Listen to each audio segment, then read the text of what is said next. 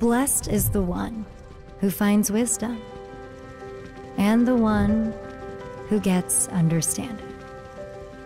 For the gain from her is better than gain from silver, and her profit better than gold. She is more precious than jewels, and nothing you desire can compare with her. Long life is in her right hand, in her left hand are riches and honor. Her ways are ways of pleasantness, and all her paths are peace.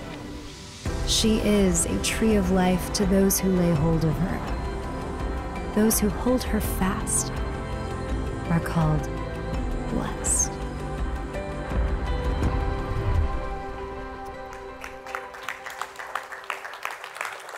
hope we're clapping not for me, but we're eager to get into God's word today. But hey, let's start with this. This is an interesting study. An interesting study revealed that the average adult wakes up grumpy 300 times a year. Get that? 300 times a year. Who's grumpy here today? Do not point to the person next to you. But according to this study, that we wake up with a good mood only 18% of the time. The point isn't to see if you're above average or below average with that study. It's this it's what do you do when a wave of grumpiness hits you in the morning? Or a wave of anger hits you in the middle of the day? Or a wave of anxiety? Think about a boat a boat is controlled by the waves. But if the boat is anchored, the anchored allows the boat not to drift off course, even if it's hit by the waves. And so it is with our emotions that our emotions, if we don't take time to understand them and to address them, then we are controlled by our actions, our reactions, our interactions with people based on the waves of our emotions throughout the day. Therefore, we need to be anchored in wisdom as it relates to our emotions. Welcome to Highpoint today. If you've been here with us this summer, you know that we're in a series entitled Summer of Wisdom. Are you growing in wisdom this summer? I hope that you're growing in wisdom this summer. And uh, we've been studying the book of Proverbs, looking at a variety of different topics. Of course, we realize that wisdom doesn't come from human advice or from personal opinion, wisdom comes from God in God's Word. So if you have a copy of God's Word in front of you, whether it's physical or digital, you can open it up, turn to Proverbs chapter 14. The title of the message today is this is that the wise show emotional strength.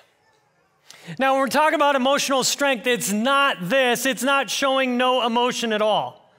It's not being emotionally strong and never crying. That's not it. We know about Jesus in the Gospels, it says that Jesus wept. Jesus said, Blessed are those who mourn, for they will be comforted. And so, emotional strength is this is that we are anchored in wisdom about our emotions so that we are not controlled by the waves of our emotions. So that's what we're going to be talking about today. We're actually going to be looking at three different emotions the emotion of anger, the emotion of anxiety, and the emotion of joy. All three of these emotions are referenced throughout God's word, so they're not just emotional issues, but they're spiritual issues as well. Of course, I'm a pastor, I'm not a mental health professional. This is a worship service. This isn't a therapy session or a counseling session. We're not really talking about mental health issues today. We're talking about emotional strength. And I believe this sincerely that God wants each person here in this room, in the balcony, online, to experience emotional strength in your life. And so we're going to be looking at three actions for emotional strength. If you're ready to get into it, let's say jump. One, two, three. Here we go. So here's number one is emotional strength comes when I control my anger. Either you control your anger or what? Your anger controls you. All throughout the book of Proverbs, there are lots of proverbs about anger. We're going to take time to look at two of them today. So let's start with Proverbs 14 17. It says this A man of quick temper acts foolishly. It's pretty straightforward. I don't need to explain it any more than that. That if you have a quick temper, you're going to do what? You're going to act foolishly. You're going to say things that you shouldn't say. You're going to do things that you shouldn't do. How many of you have experienced this proverb before in your life? It's been said that if you uh, don't get control of your anger, that it's going to reveal the worst in you. And so, when in our anger, the worst in us comes out. So, we need to control our anger. But if we're going to control our anger, first we need to understand our anger. The Bible talks about three different types of anger. Did you know this? Divine anger, righteous anger, and sinful anger. So let's look at those three. First, what is divine anger? Well, that's God's anger. Yes, God is a God of perfect love, perfect grace, perfect mercy but God is also a God of perfect justice. There are hundreds of references throughout the scripture about God's anger. God's anger is always about sin and disobedience. So that's divine anger.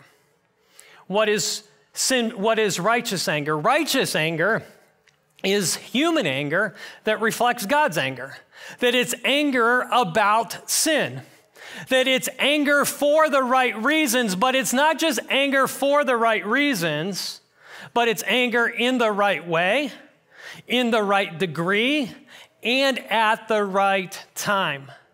So you can be right in being angry, but you can also be wrong in how you're angry.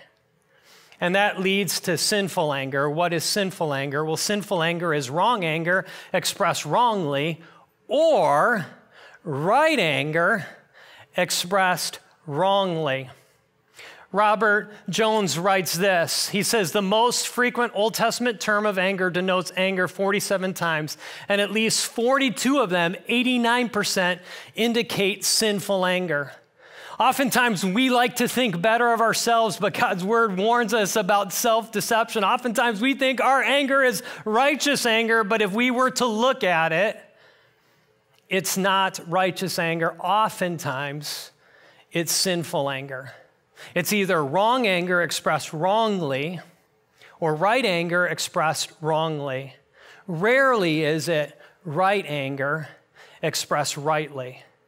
Well, how do you know? How do you know if it's a righteous anger or it's a sinful anger? Well, let's do an assessment together. Here are three questions. Maybe this is helpful for you. Number one is I'm, Am I reacting to actual sin or a personal inconvenience or preference? Is it an actual sin or is it an issue related to my own comfort? Is it a personal desire that I have that I now have as a demand for someone else? Is it a sin issue or is it a personal preference? Number two is this is my anger about God's will not being done? Or is it really about my will not being done? Is it about God being dishonored or do I feel dishonored? Is it God that's offended? Or am I offended? And then the third question is this Is my anger express itself in godly ways? Is my anger in control? Or is my anger out of control? Does my anger rage? Does my anger scream? Does my anger curse? Does my anger um, uh, threaten? Does my anger intimidate? Does my anger lead to self pity and despair and withdraw? Is my anger expressed wrongly, sinfully? So, if you think about this assessment, the first two questions are Is my anger right? But then the third question is Is it expressed rightly? In order for us to have a righteous anger, it needs to be a right anger and it needs to be expressed rightly. Like I said, all throughout the Proverbs, there's a lot of Proverbs about anger. Let's look at another one. Second one is this Proverbs 29 22. A man of wrath stirs up strife. A person of wrath is going to stir up strife. Well, what is wrath? Wrath is a form of anger. Wrath is uh, seeking vengeance for an unresolved issue. So if you have an unresolved hurt, if you have an unresolved conflict, you're going to create strife, you're going to create tension, uh, you're going to create an argument wherever you go. Uh, perhaps you've experienced the wrath of someone else and you're an innocent party in the midst of it. But you're experiencing the wrath. Why? Because people of wrath, it's like it hardens in someone's heart like concrete. It squeezes out the joy. Someone with wrath is a miserable person and a miserable person to be around.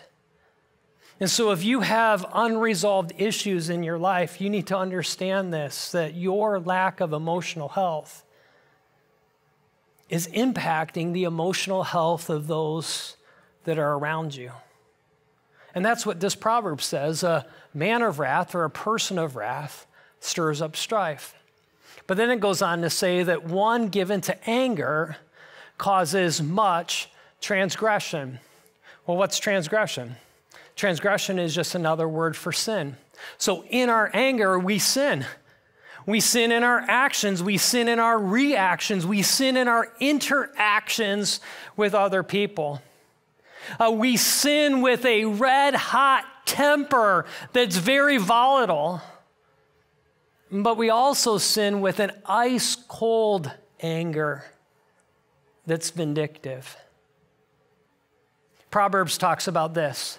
Proverbs 15, 18, it says, A hot tempered man stirs up strife. This is what we most commonly think of as it relates to anger, that red hot anger. But notice what Hebrews 12 says.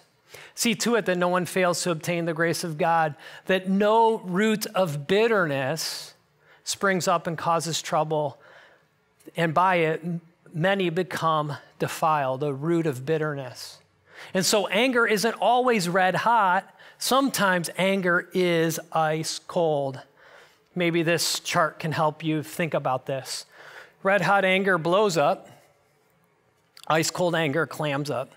Red hot anger rages and rants, and ice cold anger simmers and stews. A red hot anger is revealed, it's obvious to other people, but oftentimes that ice cold anger is concealed inside, but it's simmering and stewing inside. Red hot anger is really aggressive. But the ice cold anger is passive aggressive. The red hot anger has a temper, ice cold anger is bitter. Red hot anger is volatile, it's explosive, where the ice cold anger is vindictive. As you look at this chart, where would you land, left or right? Red hot anger or an ice cold anger. Most of us have a tendency one to another. It's easy to see the anger in other people, right? It's easy to see the anger in your parents towards you when you were growing up, or your anger towards your parents towards each other, or anger that your spouse has, or that your kids have, or your friends have. But what about you? Can you be honest with yourself? Can you allow God's word to be a mirror into your life today? Where is it that you would land as it relates to this?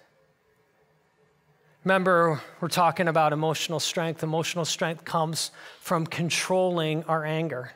We're either controlled by our anger or we control our anger. Well, how do we go about controlling our anger? I feel convicted about my anger. What do I do? Here, let me share hopefully three things that are encouraging to us, three action steps that we all can take. The first thing is that we need to do is we need to own it. We need to confess our anger before God. And then we need to take that second step and we need to apologize to the people that we've hurt. When I said this, when I did this, be specific. I was wrong. Will you forgive me? That's what it means to own it. It first starts with owning it. The second thing is you need to deal with it. What do I mean by that? Well, you need to get to the root of your anger. Most anger in the present relates to unresolved issues in the past. Did you get that? Most of your anger in the present is connected to unresolved issues in the past.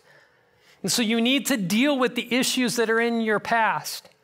Some of those emotional things, maybe you need to get around some other people that can help you sort that through. Find a wise friend, go see a Christian counselor, join me at Hope Group. But you need to deal with your anger. Third thing is this is that you need to replace your anger. What do I mean by that? It's asking God, God, help me take away my anger and replace it with gentleness, replace it with patience, replace it with grace. If you're with us a few weeks ago, Proverbs 15:1 says this that a soft answer turns away wrath, but a harsh word what? stirs up anger that a harsh word it raises volume it raises the tension it raises the emotion it raises the argument but a soft answer lowers the tension lowers the motion lowers the volume lowers the argument so ask god to replace that harsh word that leads to anger with gentle words that avoid the wrath. So that's anger. A lot more to be said about that, but we need to move on. We need to move on to the second emotion today. You tracking with me? Here's the second emotion. The second action is this is that emotional strength comes when I confront my anxiety. When I confront my anxiety. We're going to see this in a couple of proverbs. First Proverbs chapter 12 verse 25. Anxiety in a man's heart weighs him down, but a good word makes him glad. If you're with us a few weeks ago, we talked about the second part of this verse. So let's focus on the first part. Anxiety in a man's heart weighs him down.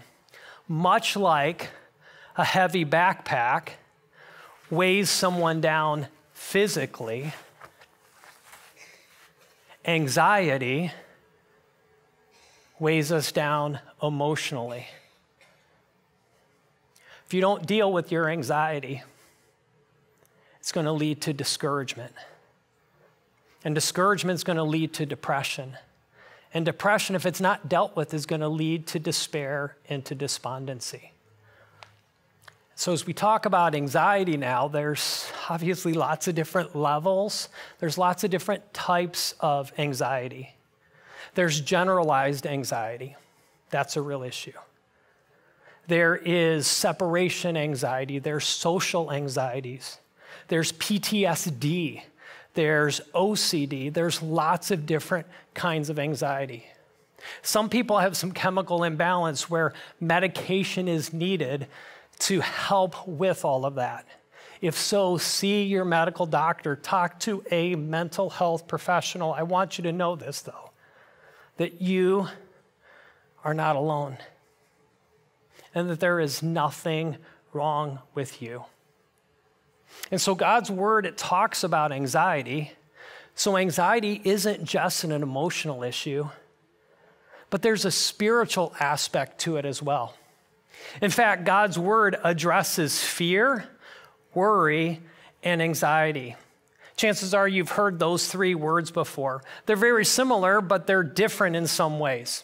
Well, what is fear? Fear is uh, being afraid of something.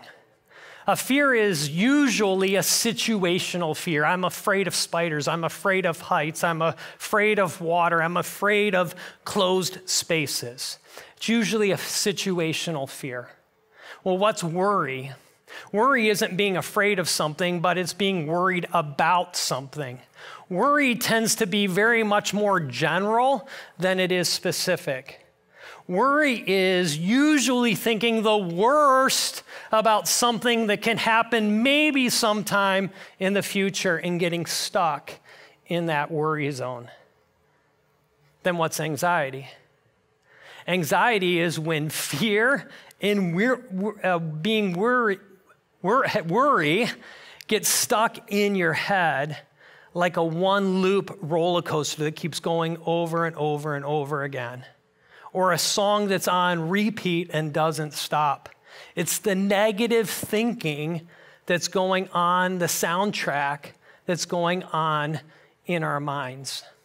And so, if you're here today and you struggle with fear or worry or anxiety, I want you to know that you're not alone. All throughout God's Word, we see characters in the Bible that struggled with these things too Adam and Eve. Abraham and Sarah, Moses, Saul, Peter, and more. I read a statistic recently from 2018 that says this or revealed this that eight out of 10 churchgoers, so that would be us, eight out of 10 churchgoers identify with either moderate to severe levels of fear. So think about that. That was in 2018. That was pre COVID. Chances are it's higher today. But if that statistic is correct, if you're sitting in a row of 10 people, eight out of 10 people identify with moderate to severe levels of fear, myself included. And so, what do you do? Well, first, you need to locate your fear. Locate your fear that's causing the anxiety. Uh, we can see uh, this on the chart common fears that produce anxiety the fear of failure, the fear of rejection, the fear of commitment, a fear of loneliness, the fear of getting caught, the fear of financial loss, the fear of death, the fear of illness, the fear of change, the fear of uncertainty, fear of abandonment, fear of something bad happening sometime, fear of being judged, fear of getting hurt, fear of losing control, the fear of love, the fear of loss fill in the blank, the fear of. These are common fears that produce anxiety. So, like I said, I struggle with fear, with worry, with anxiety myself. I can think back to two really specific seasons in my adult life where I went through some traumatic experiences in my life where I had panic attacks, I had shortness of breath, I had an irregular heartbeat, I had irrational thoughts going on in my mind. I've experienced that anxiety isn't just something that's mental and something that's emotional, but anxiety can be very much physical. But if I think back to those seasons in my life, this was the cycle that I was in is that I wanted control, but I didn't have control. And so I was fearful. And because I was fearful, I wanted control, but I didn't have control. And so I worried. And because I was worrying, I wanted control, and I didn't have control. And so I had anxious thoughts. I was stuck in anxiety. It's a cycle. Can you identify with this cycle? And so, where do you begin to break this cycle? I want control, I lack control, I'm fearful. Where do you begin to break the cycle? You need to break the cycle in your mind.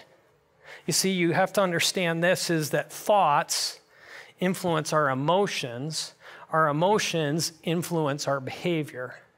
And so, if you want to get to the root of it, you got to get to your mind. And this is why Proverbs 23 7, it says this As a man thinks in his heart, so is he. So if you have anxious thoughts, you're going to be an anxious person.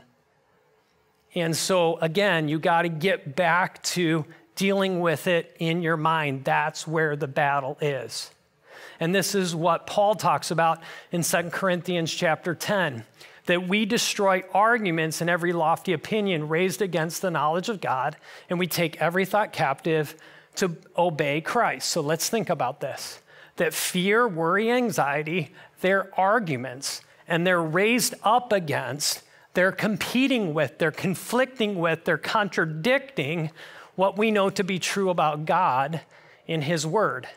And so, what do we need to do with these thoughts that are fear, worry, anxiety? We need to take them captive to make them obey Christ, to bring them into alignment to what we know to be true about God in His Word. So, what I'm talking about here is possible not just from a spiritual standpoint, but from a neurological standpoint. This is where science backs up Scripture. Is that you can recircuit your brain by the things that you think about, by the things that you dwell on. And that's why we need to know God's word, fill our minds with God's word. And so then, when we are able to know God's word, we can identify the emotion and we can insert the truth. So let's play this out just in a couple of examples, even with some of these emotions that we're talking about here. How do I identify the emotion? Identify the emotion of fear. Well, what does God's word have to say? God has not given us a spirit of fear, but of power and love and a sound mind. So if you have prolonged, paralyzing fear, you need to know this. Prolonged, paralyzing fear is not from God. That you don't need to fear circumstances, you have power. You don't need to fear people, you have love. You don't need to fear irrationally because God has given you a sound mind. Identify the emotion and then insert the truth. The next is identify worry. You begin to worry. I'm identifying that I'm worrying. What does God's word have to say? Therefore, don't worry about tomorrow, for tomorrow will worry about itself. Each day has enough trouble of its own. Why do we spend time worrying about things that are going to might happen tomorrow that are likely not ever going to happen? And so we spend our present time we give mental space, we waste our emotional energy on worrying about something in the future that likely isn't going to happen. So identify the emotion, insert the truth. Identify anxiety. What does God's word have to say? Do not be anxious about anything, but in everything by prayer and supplication with thanksgiving, let your requests be made known to God. And the peace of God, which surpasses all understanding, will guard your hearts and your minds in Christ Jesus. So, what does this mean? That when you begin to feel anxiety, when you begin to feel anxious, ask God to help to guard or to protect or to fortify your heart and your mind and to replace it with the peace of God. You see, when we are able to identify our emotion, we can insert the truth of God's word. This is why we need to be anchored in wisdom from God as it relates to our emotions. Before we move on to the third emotion, if you have uh, if you have found this a message to be helpful, these topics to be helpful, or if you're here and you want to help others as it relates to these topics, I encourage you to join me at Hope Group. You can text HOPE to the number you see on the screen, and we can get you more information about this. Over 100 people experienced HOPE through Hope Group uh, last year, and we would love to see even more people do that this year. Maybe you need to come as a participant, or maybe you can sign up to be an apprentice leader and go through some training as it relates uh, to these topics. The reality is, we all suffer in many ways. We suffer emotionally, we suffer relationally, we suffer physically, we suffer spiritually. Our struggles might be different. Your struggle might be different than mine. Our struggles might be different, but our struggle is the same. If you want to learn more about Hope Group, again, text HOPE to the number you see on the screen, and we can get you more information about Hope Group. So let's look at our third emotion. We're diving in deep today. Are we tracking? So we were talking about anger, we talked about anxiety. Now let's get to our third action as it relates to joy. Emotional strength comes when I choose joy. So we'll look at two uh, proverbs together. First, Proverbs 17 22. A joyful heart is good medicine. That joy is good medicine, and you don't even need to go to Walgreens to get it. That joy is good for your physical health. That's what this verse is saying. But it's also good for your emotional health. It's good for your relational health. Joy is good for your spiritual health. But joy is not happiness. I think you understand that. Maybe this chart can help you think about that.